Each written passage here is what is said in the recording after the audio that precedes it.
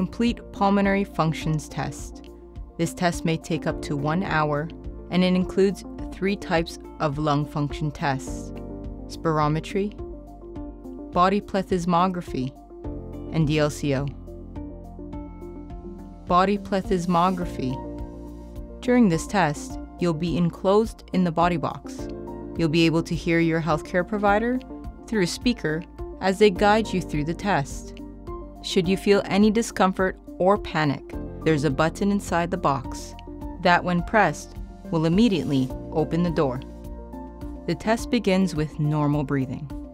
As you are breathing normally, you will feel resistance in the mouthpiece for about three seconds.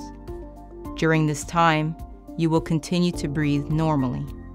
Once the resistance is gone, you will be instructed to take a full inhalation, followed by an exhalation until you are completely empty of air, completing the test with another full inhalation.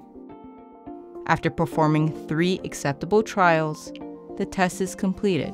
DLCO, diffusion capacity of the lungs for carbon monoxide.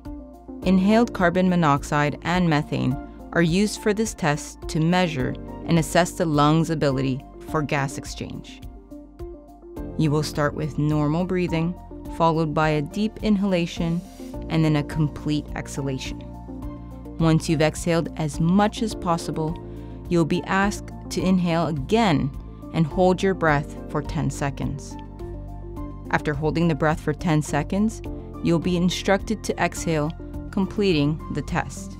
This is repeated for a minimum of two times, up to four times, until results are acceptable.